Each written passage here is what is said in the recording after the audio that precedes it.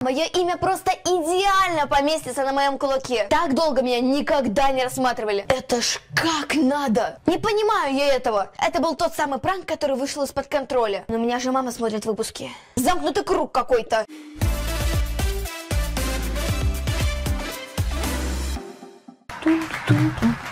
Ребята, всем привет! Я Май, и это мой новый стендап. Недавно я решила сделать себе татуировку. А, блин, у меня же мама смотрит выпуски.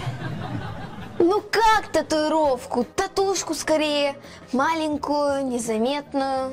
В идеале, по маминому мнению, она вообще должна быть на другом человеке.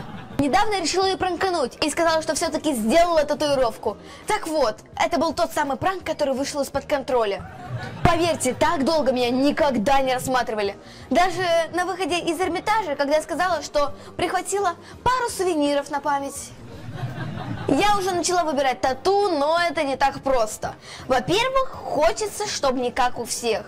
То есть не надо выбирать иероглифы, животных и имена. Хотя мое имя просто идеально поместится на моем кулаке. Выглядит круто. Я такое видела в бандитских фильмах у главарей мафии и у охранника в Эрмитаже. Во-вторых, хочется красивую татушку, но это тоже решаемо.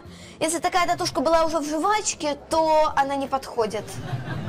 А еще за тату нужно ухаживать, а еще чесать первое время нельзя. Для меня это очень сложно. Я уже подумала на тату сделать манту, чтобы уж точно не чесать.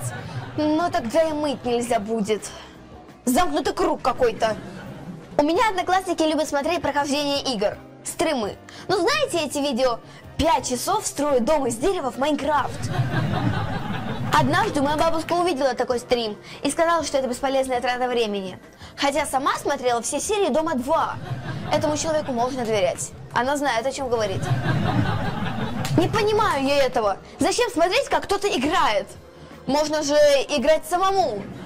Может, эти люди не смогли даже сами зарегистрироваться? Так надо не сдаваться. Пробовать до последнего. Зачем смотреть, как кто-то играет? вместо того, чтобы играть самому. Это так же тупо, как смотреть, как кто-то ест, вместо того, чтобы самому поесть.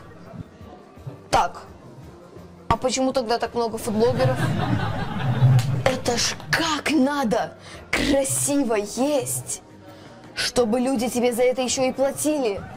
Я бы наоборот в школьной столовой приплачивала, чтобы люди не смотрели, как я ем.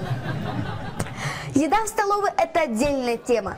Меня больше всего волнует, почему вся еда продается без состава. Она понятна, потому что по вкусу прям вообще ну не понять, из чего сделаны эти котлеты. Наверное, такие элементы еще в таблице Менделеева не открыты. Ну, и вишенка на торте – это напиток, какао содержащий, он же какао рецепт которого передается из кастрюли в кастрюлю. Иногда кажется, что сам рецепт этого напитка и есть главный его ингредиент. Вот написал на бумажке сахар, молоко, какао, кинулся в кастрюлю, залил кипятком, готово! Кстати, у нас в столовой есть ленивые голубцы. Нет, это не блюдо. Это мальчишки, которые за собой не убирают. Я думаю, никто бы не был против, если бы в школе вместо столовки был Макдак.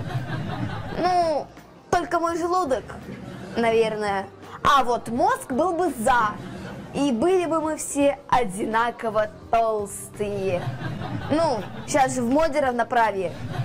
Еще, если бы в школе был бы Макдак в столовой, боулинг в спортзале, мастер-класс по слаймам на трудах. Меня бы родители пускали в школу только в мой день рождения.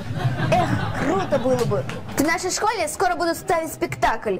И на главную роль выбрали двух девочек. Самую красивую девочку в школе и мою подругу. Стоим мы, значит, с ней на просмотре, а она прям дерево в актерской игре. Чтобы вы понимали, во всех прошлых спектаклях она играла дерево хотя роли у нее были другие. Я обязана получить эту роль, ведь я всю свою жизнь готовилась к этой роли.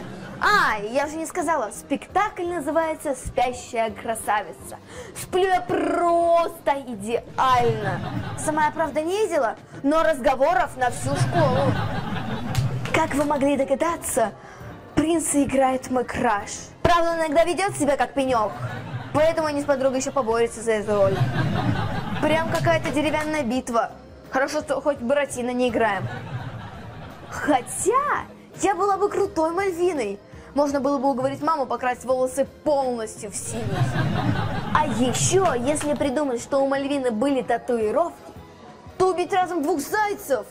Что? Интересная идея получается. На этом у меня все. Ребята, всем спасибо. Всем до новых встреч. Пока-пока. Ну что, ребят, на сегодня у меня все. Пишите в комментариях, какая шутка вам понравилась больше всего.